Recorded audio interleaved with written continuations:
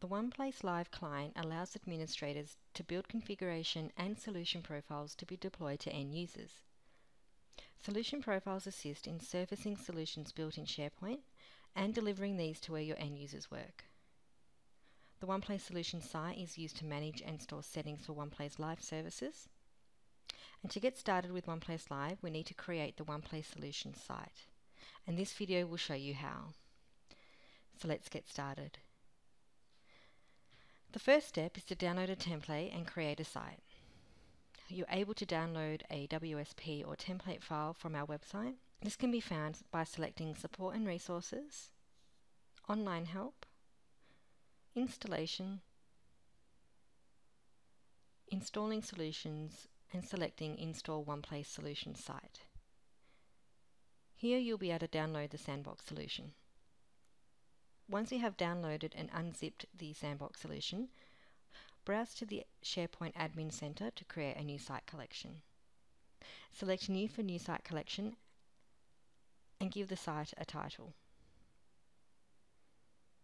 Under Template Selection, select Custom as we'll add this later.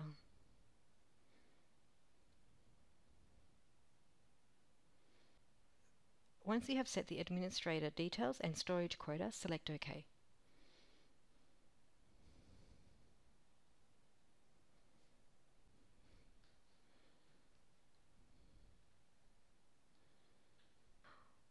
Once the site has been created, browse to it now we need to add the templates. So select Solution Gallery, select Upload Solution, and browse to your previously downloaded WSP file.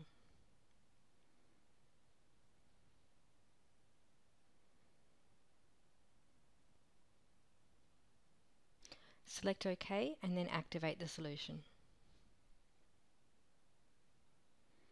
Once the solution has been activated, select Browse in the menu and then select the SharePoint icon to browse back to the site.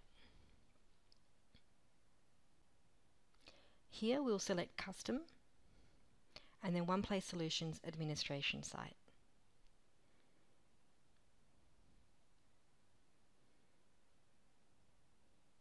You can set up the groups for this site or use an existing group. You'll note a number of lists have been included in the template.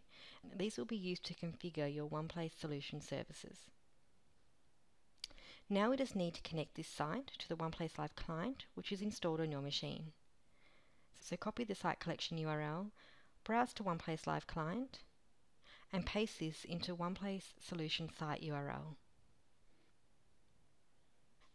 Your OnePlace Solution site has now been created and ready for use.